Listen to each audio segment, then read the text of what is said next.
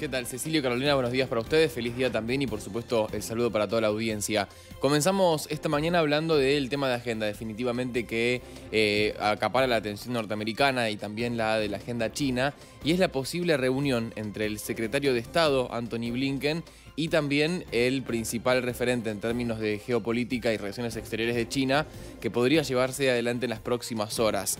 De hecho, eh, a partir de la última reunión que se llevó adelante eh, allí, en el gigante asiático, el secretario de Estado norteamericano expresó su preocupación por las acciones provocadoras de China y le exigió al líder del régimen directamente, a Xi Jinping, que evite que empresas de su país le vendan armas a Rusia ¿no? en medio de la invasión a Ucrania.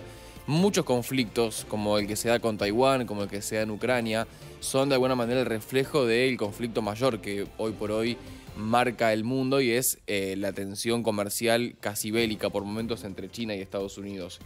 El jefe de la diplomacia estadounidense, Anthony Blinken, le advirtió a Xi Jinping, esto ocurrió ayer por cierto, que un ataque chino a Taiwán traerá graves consecuencias en todos los países del mundo. Esto se lo dijo porque China reclama soberanía sobre Taiwán, ¿no? Dicen que ese territorio les pertenece, por más que se haya autogobernado de manera democrática por los últimos 40 años.